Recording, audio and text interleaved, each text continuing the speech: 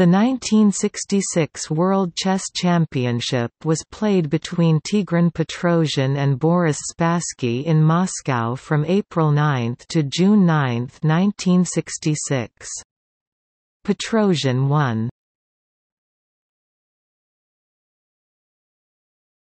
Topic 1964 Interzonal Tournament An interzonal tournament was held in Amsterdam in the Netherlands in May and June 1964. Six spots in the candidates tournament were on the line.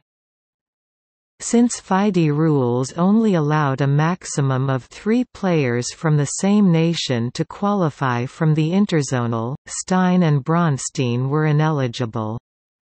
Instead Ivkov qualified. The sixth and final place in the candidates tournament was decided in a three-game playoff in which Portisch beat Reshevsky two and a half to one half.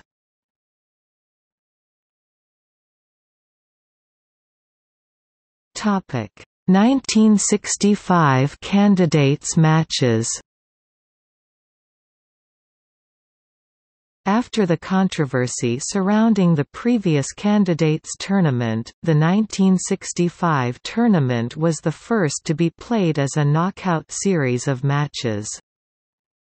Two players were seeded directly into the tournament, Mikhail Botvinnik loser of the last championship match and Paul Keres second place in the 1962 candidates. Botvinnik declined, and his place was taken by Efim Geller, who finished third in the 1962 candidates.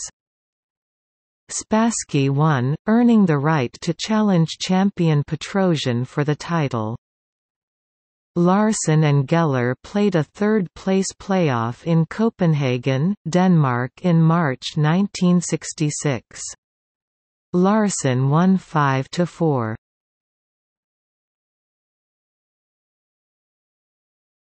Topic 1966 championship match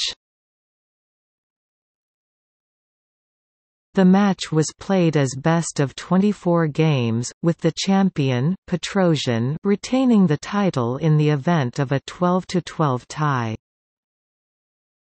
While Petrosian retained the title with a 12–10 lead after Game 22, he and Spassky decided to play the final two games anyway.